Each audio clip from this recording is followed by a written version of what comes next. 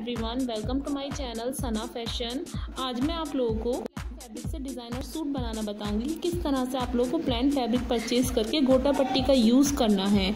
यहाँ पे आप लोगों को जैसे नॉर्मल कुर्ती सिलनी है, वैसी सिलनी है। ये चाक और दामन पे आपको टू इंचज़ का मार्जिन रख के अंदर टेट्रॉन को फिल कर लेनी है। ये चाक और दामन के साइड में आप लोगों को इस तरह से फिल कर लेनी है टेट्रॉन को। उसके बाद मैं यहाँ पे क्रॉस क्रॉस करके ऊपर की साइड से लगाती हुई चलूँगी। आप लोग देख लीजिएगा। मैं आपका ज़्यादा टाइम वेस्ट नहीं करूँगी। आपको सिर्फ़ समझाने की कोशिश करूँगी कि चाक से दामन की तरफ़ मैं लेते हुए जा रही हूँ इसे।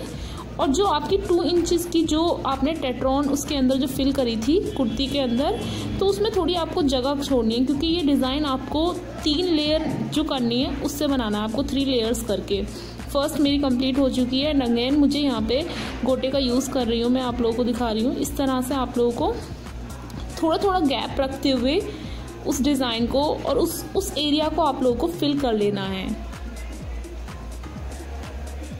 गोटा, आप लोग अपनी चॉइस के अकॉर्डिंग किसी भी कलर का ले सकते हो। फैब्रिक भी आप लोग अपनी चॉइस के अकॉर्डिंग किसी भी कलर का ले सकते हो। बट ये कलर मुझे बहुत ज़्यादा अच्छा लगा है। मैं अपना पर्सनली बता रही हूँ, मुझे ये कलर बहुत ज़्यादा अच्छा लगता है। मैंने एक दो सूट और भी बनाए हैं इस कलर के।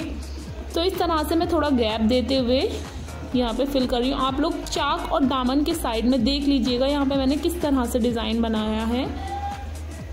ये चाक से लेते हुए मैंने पूरा ख़त्म नहीं किया है, बस इसी को फोल्ड करके यहाँ से चाक की साइड से दामन की तरफ़ को मैं इसे ले गई हूँ। ये गोटा आप लोगों को इजीली मिल जाएगा मार्केट में हर जगह मिल जाता है। तो आप लोगों को अगर गोटा नहीं मिले तो आप लोग लेस जो थोड़ी पतली वाली होती है उसका भी यूज़ कर सकते हैं। आप अपनी चॉइस के अकॉर्डिंग जो आपका मन करे। ये यहाँ पे मैंने इसे चाक, जहाँ पर चाक होते हैं ना हमारे, वहाँ पर मैंने इसे बंद कर दिया है। अब थर्ड वाली लाइन में अगेन लगा रही हूँ यहाँ पे। इस तरह से लगानी है आपको।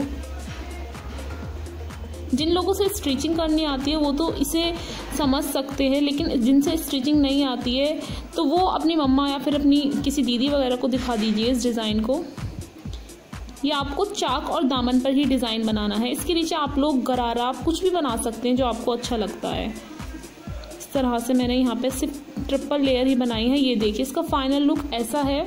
ये कुर्ते के चाक और दामन पर है और स्लीव्स पे मैंने यहाँ पे, यहाँ ये तो चाक और दामन हो गए इसके, ठीक है ना? तो अब ना मैं आपको स्लीव्स दिखा देती हूँ, इसकी ये रही स्लीव्स स्लीव्स में मैंने इस तरह से थोड़ी ज़्यादा लगाई, यहाँ पे थ्री लेयर्स ही हैं, लेकिन स्लीव्स में मैंने ज़्यादा लेयर्स की हैं। इस तरह से आपका डिज़ाइन बनकर तैयार हो जाएगा गाइस आई होप गाइज़ ये वीडियो आप लोगों के लिए काफ़ी हेल्पफुल रही होगी।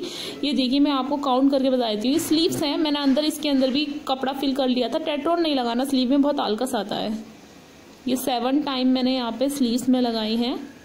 ये अंदर फैब्रिक मैंने दो तीन बारी करके इसी को फैब्रिक को ही फोल्ड करके लगा दिया था।